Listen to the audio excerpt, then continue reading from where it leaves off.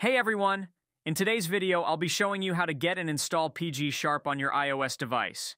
PGSharp is a fantastic tool for Pokemon Go players, with features like teleportation, a joystick for easy control, and much more. I'll walk you through every step of the process, so be sure to watch until the end to get all the important details. Grab your device, follow along, and let's dive in. Before proceeding, let's address two important checks. First, navigate to your device settings and go to General. Tap Background App Refresh and ensure Wi-Fi or Wi-Fi and mobile data is selected. This setting allows the app to update and function efficiently in the background.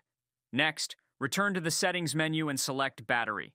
Make sure Low Power Mode is turned off, as enabling this mode can restrict the app's performance. After completing these steps, you can move on to installing the app. Let's start. Once you have completed the initial checks, we can proceed. Open your browser and navigate to findplugin.com, a trusted site that hosts various modded applications.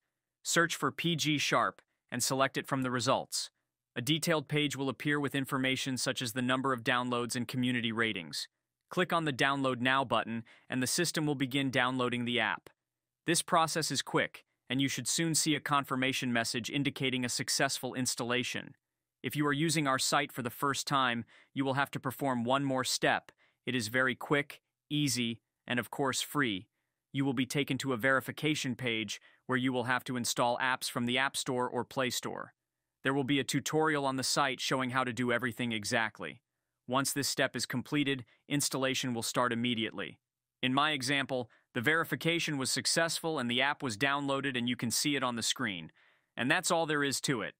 Thanks for watching this video to the end. If you enjoyed it and everything is working well for you, please like the video and subscribe to my channel for more content like this. If you encounter any issues or have questions, feel free to leave a comment and I'll be happy to assist you. Thank you and see you in my next video.